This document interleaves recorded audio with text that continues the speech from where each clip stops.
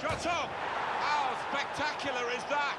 Well, you have to get the timing absolutely perfect to take that on.